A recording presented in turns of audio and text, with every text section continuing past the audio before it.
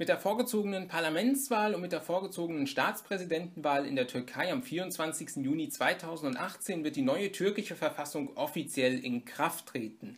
Wie diese neue türkische Verfassung aussieht, das habe ich euch am vergangenen Sonntag in einem Video vorgestellt.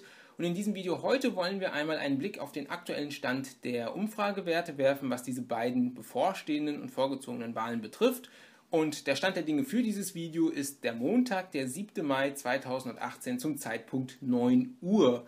Und blicken wir zunächst einmal auf die neuesten Umfragen zur Parlamentswahl. Und bevor wir uns die Werte genauer ansehen werden, möchte ich ein paar allgemeine Dinge zur, ja, zum Parlament an sich sagen und zu den einzelnen Parteien, damit ihr sie auch ein bisschen besser verorten könnt. Also zu diesen fünf Parteien, die ihr hier seht, werde ich gleich etwas sagen. Vorneweg nur eine Anmerkung noch.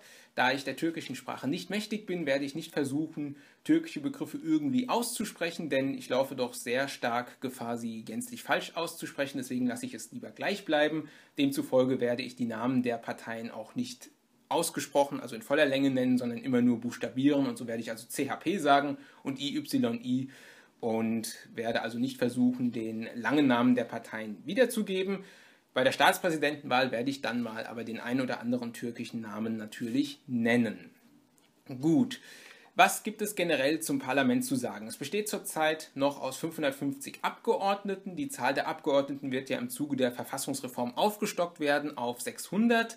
Allerdings wird es erstmals nach der Wahl das Amt des Ministerpräsidenten nicht mehr geben. Also erstmals in der Geschichte der Republik Türkei wird es dieses Amt nicht mehr geben. Das Amt wird zurzeit von der AKP bekleidet. Das ist Binali Yildirim, der dieses Amt noch innehat. Ansonsten gibt es zurzeit fünf Parteien, die im Parlament vertreten sind. Das sind die HDP, die CHP, IYI, die AKP und die MHP. Allerdings war es nach der letzten Wahl am 1. November 2015 so, dass es nur vier von diesen fünf Parteien ins Parlament geschafft haben, denn die Partei IYI gab es zu dieser Zeit noch nicht. Die Partei ist nämlich erst im letzten Jahr gegründet worden, ist also noch eine recht junge und neue Partei und sie hat es geschafft, 20 dieser 550 aktuellen Abgeordneten für sich zu gewinnen, beziehungsweise einige Abgeordnete von der MHP sind eben die Gründer der Partei IYI und sind deswegen also gleich zu IYI übergegangen. Aber gleich zu dieser Partei mehr. Beginnen möchte ich mit der HDP, die die Demokratische Partei der Völker ist und im Grunde eine Minderheitenpartei für die kurdische Minderheit in der Türkei ist. Und wenn man sich einmal anschaut, wo ist die HDP am stärksten, wo erzielt sie die besten Ergebnisse, da sind das nämlich genau die Gebiete, in denen es verhältnismäßig viele Kurden in der Türkei gibt. Das heißt, vor allen Dingen im Südosten der Türkei hat die Partei ihre Hochburgen. Die HDP hatte bei der letzten Wahl mit 10,8 Prozent es geschafft, über die 10-Prozent-Hürde zu kommen, die auch bei dieser Wahl wieder angewendet werden wird und die HDP kam mit 59 Abgeordneten ins Parlament.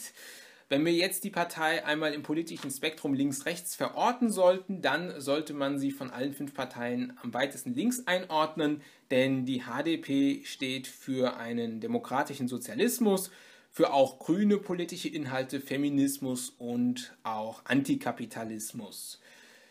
Dann haben wir als zweites die CHP, die Republikanische Volkspartei, die im Grunde eine sozialdemokratische Partei ist und deren Grundpfeiler der Kemalismus ist. Und das sieht man auch daran, wenn man sich einmal das Logo der CHP anschaut. Ihr könnt ja mal danach googeln. Dann seht ihr dort sechs Pfeile eingezeichnet und das sind die sogenannten sechs Pfeile des Kemalismus. Die CHP steht unter anderem für einen EU-Beitritt der Türkei und sie steht auch für den Laizismus, das heißt die strikte Trennung von Staat und Religion. Und die CHP ist zurzeit die zweitstärkste Partei in der Türkei im Parlament. Mit 134 Abgeordneten ist sie damals 2015 ins Parlament eingezogen und sie hat 25,3 aller gültigen Stimmen erzielt bzw. erhalten. Als nächstes haben wir die Partei IYI. Ich hatte ja eben schon angedeutet, irgendwie ist da was mit der MHP passiert und sie ist noch nicht so alt und genauso ist es auch. IYI, auf Deutsch die gute Partei, ist am 25.10.2017 gegründet worden. Sie ist entstanden im Grunde als Nachfolger Infolge oder im Zuge des Verfassungsreferendums, das es ja im letzten Jahr gegeben hat. Und zwar ist es so, dass ein Großteil der MHP sich für das Referendum und für die Verfassungsänderung ausgesprochen hat. Das heißt, ein Großteil der MHP wollte mit der AKP zusammenarbeiten. Es kam ja auch zur Zusammenarbeit. Aber es gab auch einen nicht ganz so kleinen Teil innerhalb der MHP, welche dieses Referendum abgelehnt hat, beziehungsweise welche die Reform an sich abgelehnt hat. Und so kam es dann hauptsächlich eben dazu, dass nach dem Referendum sich eine Gruppe abgespalten hat von der MHP und diese Partei IYI gegründet hat, aber es kommen auch noch von anderen Parteien eben Personen dazu, die zu IYI übergegangen sind. Die Partei selbst versteht sich als konservative Alternative zur AKP und zur MHP und demzufolge sind die politischen Eckdaten für diese Partei ein national-konservatives Programm mit nationalistischen Inhalten und auch das eine oder andere vom Kemalismus lässt sich bei der IYI finden, zum Beispiel eben der Laizismus, den ich ja eben schon im Zuge der Vorstellung der CHP genannt habe. Das heißt also die strikte Trennung von Staat und Religion. Interessant ist bei dieser Wahl, dass es dieses Mal zu Wahlbündnissen kommt und sich schon zwei gebildet haben. Dieses Mal ist es ja nach dieser Verfassungsreform auch möglich, dass sich Wahlbündnisse bilden können und die Partei IYI und die CHP haben Anfang Mai bekannt gegeben, dass sie ein gemeinsames Wahlbündnis eingehen wollen. Dazu kommen noch zwei kleinere Parteien, die SP und die DP, die wir an dieser Stelle mal etwas ausklammern können, denn sie haben keine so hohen Prozentwerte, es gibt keine Werte, die für sie angegeben werden, sie gehören aber zu diesem Bündnis dazu. Im Wesentlichen ist das jetzt ein Bündnis, fernab der HDP, die alle Parteien umfasst, die gegen die Verfassungsreform waren. Und sie tun sich deshalb hier zusammen, um eine Chance zu haben, dass die Opposition, also dass diese Parteien am Ende die Wahl sogar gewinnen werden. Denn man muss wissen, dass 81 der 600 Abgeordneten über Direktmandate bestimmt wird. Und da ist es natürlich für die Parteien CHP und IYI nicht von Vorteil, wenn man mit jeweils eigenen Kandidaten in den Wahlkreisen antritt, denn dann nimmt man sich im Grunde gegenseitig die Stimmen weg und man hätte dann keine Chance zum Beispiel gegen die AKP und MHP-Kandidaten, die ja zusammen auch ein Wahlbündnis haben. Deswegen tut man sich zusammen, um möglichst viele Direktmandate zu gewinnen und so möchte man letztendlich die absolute Mehrheit im Parlament erzielen. Aber ob das funktionieren wird, das werden wir uns dann gleich anschauen. Und wo wir schon mal bei diesem Wahlbündnis aus CAP und IYI sind, die HDP ist diesem Bündnis noch nicht beigetreten. Es gab allerdings in letzter Zeit immer mal wieder Umfragen, in denen die Werte von CHP und HDP zusammengenommen worden sind. Und es gab sogar mal eine Umfrage, in der es einen gemeinsamen Wert für HDP, CHP und IYI gegeben hat. Also möglicherweise tritt HDP diesem Bündnis noch bei. Und vor allen Dingen, wenn man mal bedenkt, dass es eine 10%-Hürde gibt und die HDP bei der letzten Umfrage nicht auf 10% kommt, könnte es also sein, dass die HDP sich tatsächlich diesem Bündnis noch anschließen wird, weil sie ja sonst Gefahr läuft, ohne Sitze und ohne Abgeordneten im nächsten Parlament vertreten zu sein. Also da ist noch nicht entschieden, ob die HDP als einzelne Partei antreten wird oder ob sie dann doch in ein Bündnis mit CAP und IYI gehen wird.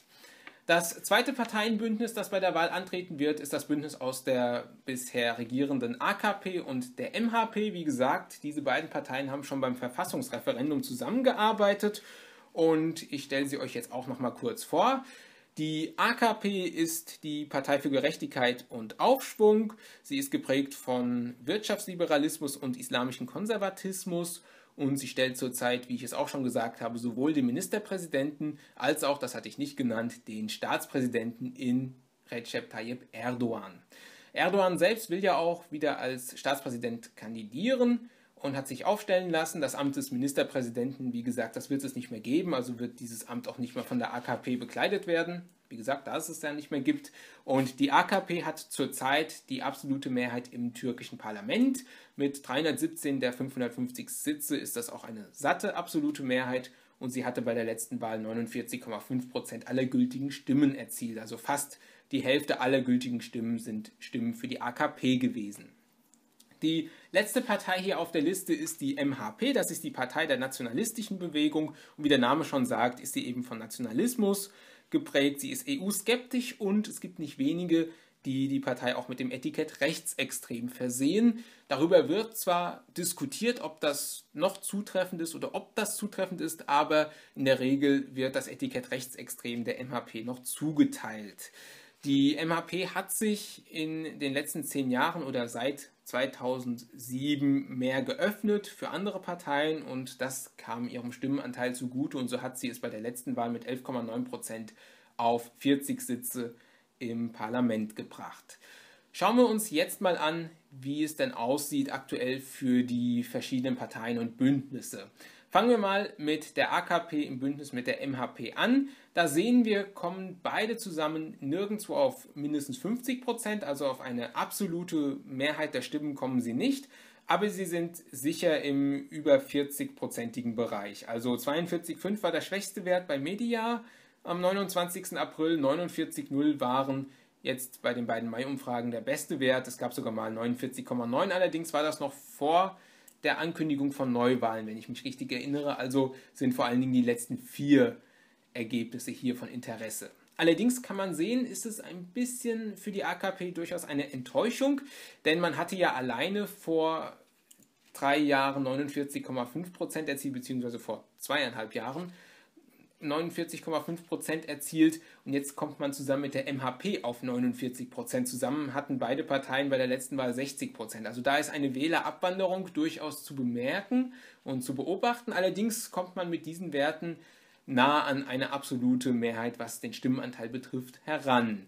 Allerdings, das sei an dieser Stelle schon mal erwähnt, der Stimmenanteil an sich, der gibt eigentlich noch nicht so wirklich eine Auskunft darüber, wie viele Sitze man im Parlament hat. Deswegen ist vor allen Dingen, wenn wir gleich die Sitzverteilung anschauen werden, das natürlich von Interesse, was also die Prognose für die Sitzverteilung ist. Was das andere Bündnis der Parteien betrifft, ist es so, dass CHP und IYI zusammen so auf knapp 40 Prozent kommen. Also man kommt nicht ganz heran an AKP und MHP, aber man kommt auf einen relativ starken Wert, der zumindest dieses Bündnis konkurrenzfähig macht. Und es kommt halt auch darauf an, wie sich die HDP verhält, ob sie dem Bündnis beitritt oder nicht. Womöglich bei einem Beitritt der HDP könnte es darauf hinauslaufen, dass man zwei circa gleich starke Bündnisse bei der Wahl hat, die gegeneinander antreten werden. Also quasi eine Partei, die hier ein Nein-Lager zum Referendum, zur Reform bildet und das Ja-Lager zur Reform, die stehen sich dann bei dieser Wahl gegenüber. Und im Übrigen, das habe ich bei IYI nicht gesagt, sollte die IYI die Wahl gewinnen und auch den Staatspräsidenten stellen, dann möchte sie die Verfassungsreform wieder rückgängig machen und zum parlamentarischen Regierungssystem zurückkehren. Also im Grunde ist das auch eine Wahl nochmal, wenn man so will, über die Verfassungsreform, die ja letztes Jahr äh, stattgefunden hat. So, so viel mal dazu. Spannend, wie gesagt, ist es aber, wie viele Sitze denn jetzt die einzelnen Parteien und Bündnisse erhalten könnten laut den aktuellen Prognosen und das sieht dann wie folgt aus. Die jüngste Sitzverteilungsprognose von PIA vom 1. Mai sieht wie folgt aus. Die HDP kommt auf 100 Sitze, das Bündnis aus CHP und IYI auf 230 Sitze und AKP und MHP kommen auf 270 Sitze und auch die Werte von Media vom 29. April sind ziemlich ähnlich. 80 für HDP, 240 zusammen für CRP und IYI und 280 zusammen für AKP und MHP. Das heißt letztendlich, wenn wir den Mittelwert davon bilden, dann sehen wir, reicht es für die AKP und die MHP zusammen momentan nicht, laut der Umfragewerte, um die absolute Mehrheit zu verteidigen. Und das wäre natürlich dann für die AKP tatsächlich auch eine Enttäuschung. Nicht nur, dass man prozentual gesehen deutlich weniger Stimmen zusammen hätte als vor zweieinhalb Jahren, sondern auch der Verlust der absoluten Mehrheit, der würde dann schon deutlich mehr wehtun. Und vor allen Dingen, wenn die HDP sich vielleicht noch zusammenschließen würde mit CHP und IYI, wäre dann die AKP zusammen mit der MHP klar in der Opposition. Also das ist der aktuelle Trend. Jetzt hatte ich aber gesagt, wir müssen natürlich auch gucken, was macht die HDP. Und hier seht ihr ja nochmal die Werte der allerneuesten Umfrage zur Wahl in der Türkei. Und da ist ja die HDP auf nur 6,7 Prozent gekommen. Und würde die HDP tatsächlich die 10 Prozent verfehlen, dann würde sie auch keinen einzigen Sitz erhalten, obwohl sie im Südosten der Türkei sehr sicher einige Direktmandate holen würde. Die würden dann wegfallen und dann würden also CHP und IYI und AKP und MHP sich diese 90 Sitze noch irgendwie aufteilen, je nachdem, wer dann wo wie stark sein wird. Also es ist, glaube ich, nicht ausgeschlossen, dass die HDP vielleicht in den nächsten Tagen und Wochen vielleicht doch nochmal überlegt, hier in dieses Bündnis hereinzukommen. Da bin ich jetzt nicht auf dem Laufenden, ob das von der HDP auch wirklich so gewünscht ist, aber aus wahlkampftaktischen Gründen, gerade wenn man unterhalb von 10% fallen würde, wäre es vielleicht eine Überlegung wert für die Partei. Aber wir sehen hier den momentanen Trend und der momentane Trend sagt, die AKP und die MHP sind momentan unterhalb des Wertes, den sie bräuchten für eine absolute Mehrheit. Die starke Person in der Türkei mit dieser Verfassungsreform ist dann vor allen Dingen der Staatspräsident. Der hat ja dann noch weitere Kompetenzen hinzubekommen und deswegen ist vor allen Dingen natürlich die Wahl des Staatspräsidenten von auch sehr großem und besonderem Interesse. Die größten Parteien haben bekannt gegeben, wer für sie kandidieren wird. Und wenig verwunderlich ist natürlich Erdogan der Kandidat der AKP und er wird auch von der MHP unterstützt, die keinen eigenen Kandidaten bei dieser Wahl aufstellen wird.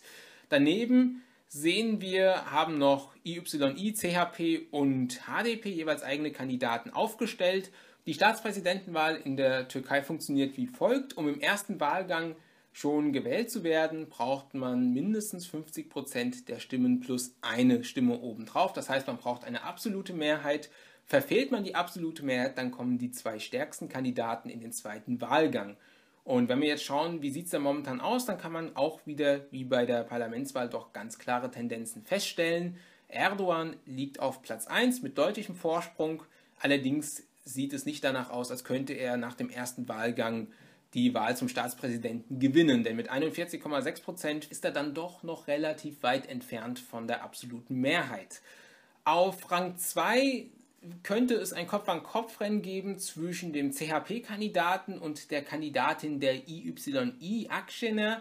Momentan sieht es so aus, als könnte Akşener das Rennen machen. Mit 22,2% liegt sie im Schnitt, nämlich im Schnitt der letzten zwei Umfragen 2% vor dem Kandidaten der CHP. Und das werden auch die beiden einzigen wirklich ernsthaften Anwärter auf den zweiten Rang sein. Demirtas von der HDP kommt zwar auf solide 12,4 Prozent, allerdings ist es dann doch auf Akşener schon ein Rückstand von knapp 10 Prozent und es scheint nicht so, als könnte Demirtas das noch aufholen bis zum Wahltag. Und dass Akşener womöglich sogar die heißeste Anwärterin auf den zweiten Rang ist, sieht man, wenn man sich mal die neueste Umfrage vom 1. Mai ansieht. Denn da liegt sie 4,4% vor dem Kandidaten der CHP.